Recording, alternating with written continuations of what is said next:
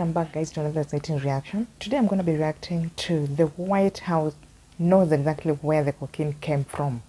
This is by Charlie Hart. Does the White House know the exact place where the cocaine came from? Let's find out. Here with reaction, Fox News contributor Charlie Hurt and Outkick founder Clay Travis. Gentlemen, thank you very much for joining me. Charlie, let's start with you.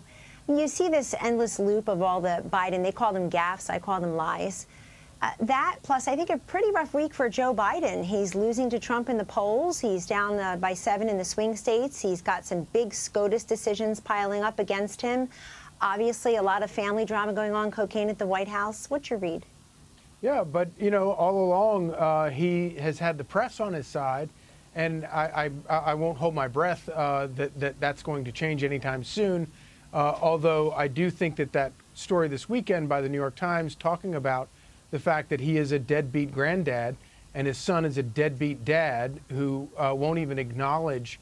Uh, I can't even fathom it, quite frankly. Can you imagine having a grandchild that you don't even want to meet, that you don't want to see, you don't want to pick up, you don't want to know? It's uh, eh, you know, aside from the the moral uh, uh, appalling nature of all of this. Um, but uh, I, like I said, I, am not going to hold my breath uh, as long as, as Joe Biden has the press behind him and the press working for him, working to cover for him, and working to attack his enemies, he's going to be able to, to stand and fight. Hey, Clay, there's no question that Charlie's right about that, the press protecting Biden. But it sounds like even the Democratic voters are starting to pull away from Joe Biden. Up to a third of the primary voters are supporting RFK Jr., Marianne Williamson, none of the above. So I think his presidency is starting to fray. But when you think about the granddaughter in Arkansas, particularly, and it is his granddaughter, no matter what spin and lie he puts on it, uh, what are they communicating to the public? These swing voters who said, I want somebody who's going to unify and get rid of the drama, be a family values president, and here we are.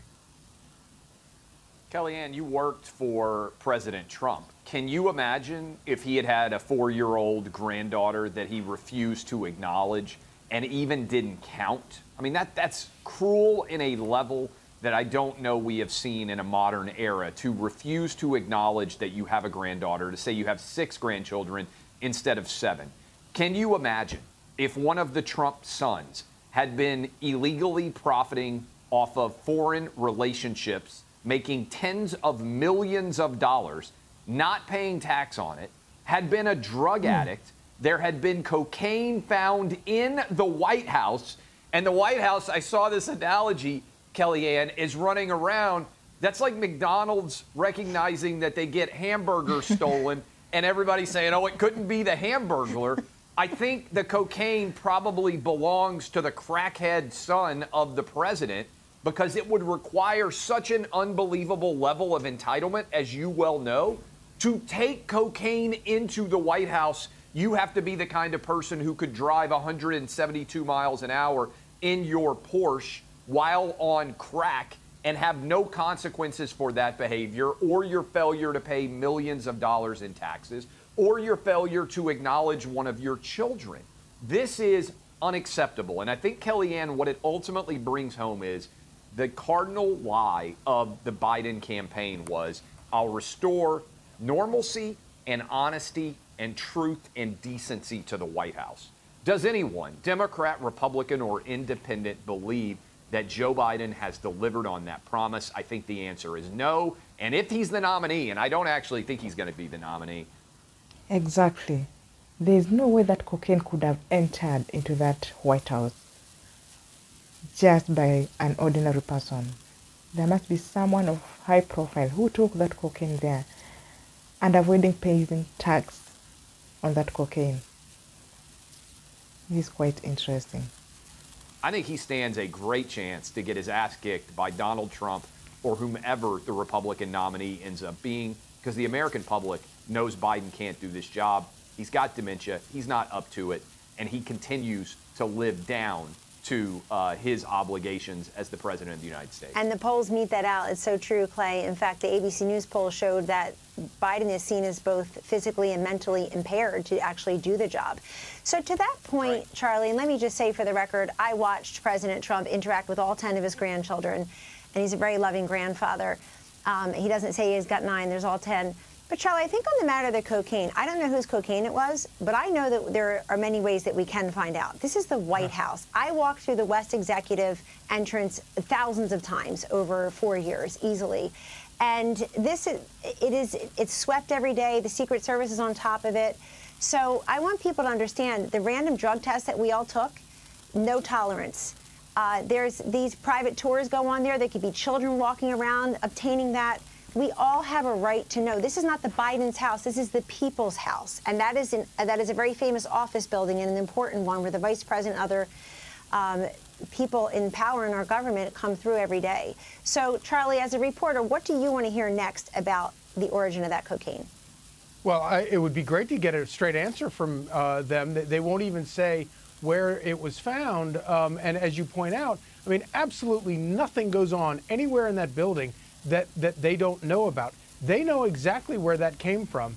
And if, there's going, if they're going to carry on this effort to try to conceal that, I think it uh, just sort of underscores that not only does the Biden administration have the, uh, the, the, press behind him, but apparently they are utilizing it, and we've seen this in other areas. They're not below this uh, or above this. Uh, the willingness to utilize the, the, the federal government in order to protect them and, and, and enrich themselves.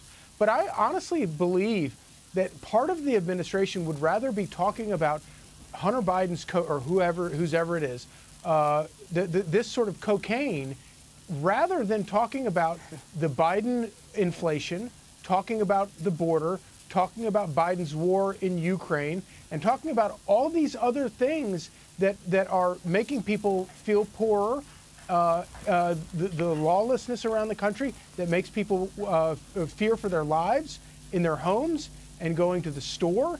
Um, all of these things that, that, the Biden administration has no answer to. So they would rather talk about cocaine and his crackhead son. Thank you, Charlie. Clay, last uh, couple seconds here. You teased the audience, so complete your sentence. If Biden's not the nominee for the Democrats, who is? I think it's going to be Gavin Newsom. Uh, I think there's a reason he sat down with Sean Hannity in this very hour uh, a few weeks ago. I think Gavin Newsom is in the wings. They're terrified to put Kamala Harris in because she would be even a worse nominee than Biden. I think Biden would have already announced he wasn't going to run, uh, eh, really, Kellyanne, if Kamala Harris wasn't such an unmitigated disaster as his number two. I think Gavin Newsom's going to be the nominee. So make America California. that may be a tough sell. Clay, Charlie, thank you so much. Excellent segment. Thank you. you Go, guys. Quite interesting. The White House knows exactly where the cocaine came from, of which the Biden administration, they should tell us, they should tell the people where the cocaine came from. And we just heard that the moment Biden's son was spotted in White House, that is the time that they were, came about knowing about the cocaine. So the Biden administration need to tell people, they need to come into the limelight and tell us where the cocaine came from, exactly from where. Okay, thank you so much. Let me know your take on this in the comment section. Catch me next for another reaction. Bye.